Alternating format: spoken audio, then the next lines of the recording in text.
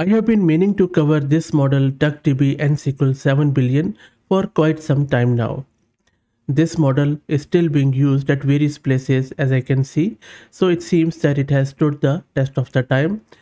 Before I show you how you can get it installed locally on Windows and we test it out on different benchmarks, let me give you a very quick overview of this awesome model. DuckDB NSQL 7 billion is a family of autoregressive open source language foundation models designed specifically for SQL generation tasks. SQL is SQL, which stands for Structured Query Language, and it is a language through which you interact and talk with your databases. Also, this model, which is NSQL, is based on Meta's original Llama 2 7 billion model. So it is a bit older but still performs very very well. After basing on Llama 2, it was further pre-trained on a dataset of general SQL queries and then fine-tuned on a dataset composed of DuckDB text to SQL pairs. I have done another video on DuckDB if you're interested and I have been using it for a lot of my projects for uh, in memory and other sort of use cases real cool lightweight database. So please search it out.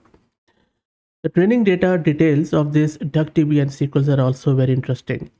200,000 DuckDB text to SQL pairs were used and they were all synthetically generated using Mixtral 8 into 7 billion model also, they used text to SQL pairs from NS text to SQL that were transpiled to DuckDB SQL using SQLGlot. And they evaluated their models on a DuckDB specific benchmark that contains 75 text to SQL pairs. DuckDB NSQL was trained using cross entropy loss to maximize the likelihood of sequential inputs. For fine-tuning on text to SQL pairs, they only compute the loss over the SQL portion of the pair. The model is trained using 80 GB A100s, leveraging data and model parallelism. And they fine-tuned it for 10 epochs, which is quite high in my opinion, but seems like it performed well for them. Anyway, that's it. Let me take you to my local system where I'm running LM Studio LM Studio is the tool which I'm using on my Windows system. I have one GPU card of 16 GB VRAM and my memory is 32 GB. If you don't know what LM Studio is, please search the channel for it and you should be able to find a video or two as how to install and use LM Studio. To launch LM Studio on the home page, just type duckdb, press enter and then from here you will see that I already have downloaded one of the um, quantized version from mother duckdb which was done around three months ago two months ago i guess. And they have provided this q8 one which is just over 7 gig. This is a file which i have downloaded. And let's try to click on the three dots and load this model on our gpu card and then we will start talking with it. Model is loaded. Let's try to offload the layers to gpu let's try to do these many maybe and then reload the configuration. Let's wait for it to reload. Model is offloaded to the gpu most of it. Let's try to ask it a question. So in this one and i'm following the prompt template given by the, the this mother duckdb in their model card. So first there is an instruction that your task is to generate valid duckdb sql to answer the following question given a duckdb database schema and then I'm giving it a schema which is just a table with some of the column names and stuff with the data types. And then my question is get all columns ending with underscore amount from taxi table. Now let me run it. There you go. So amazing stuff. Now you don't have to specify just for the DuckDB. You can go with a generic SQL and it should be able to give you. And what I have seen so far it was following ANSI standard. Sometimes it go wavered but most of the time gets it right. Let's try out another one.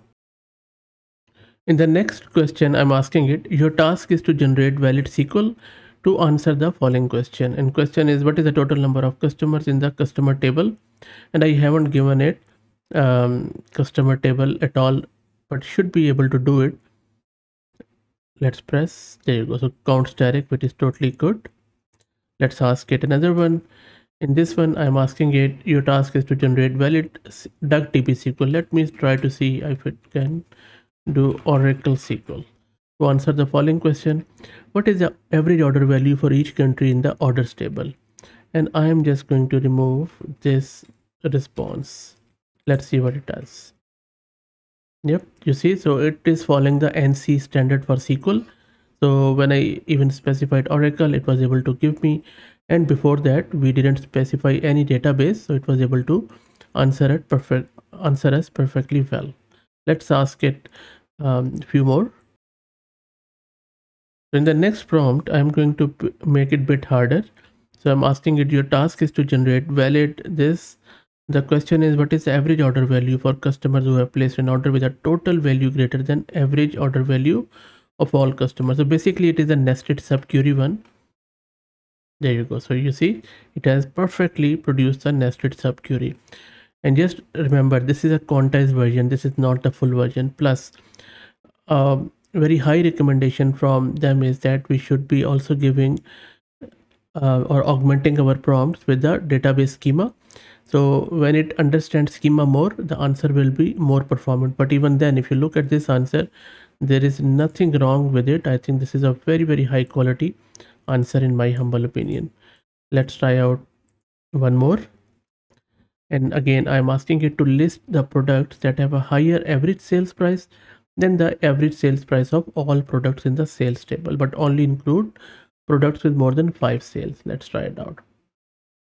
Absolutely correct. Amazing amazing model i should say. I think this really goes out of the way to produce a very very fine sql because it is fine tuned let's see if it is able to i'm not sure if it is able to optimize the query or not but let's try it out. In this one i'm asking it without any prompt template given the provided suboptimal sql query intended to retrieve customer detail and their most recent order optimize this query to improve efficiency performance and readability. Let's see. Amazing stuff i think. It can even do that too. So all in all a real uh, treat to you know use this model. And i think now we can all see why this model is still in use after three months of its release. Uh, and just remember that it has been fine-tuned on llama 2 just imagine its performance on llama 3 really good stuff. I will be focusing more on this. Maybe i will check it out if there is any latest release on llama 3 or if there isn't whenever it comes we'll also cover it off. I will drop the link to its model card in beauty's description. Play around with it. Let me know what do you think. And if you are using it already uh, let me know please. Very very keen to know how you are using it in the real world. I hope that you enjoyed it. If you like the content please consider subscribing to the channel. And if you're already subscribed then please share it among your network as it helps a lot. Thanks for watching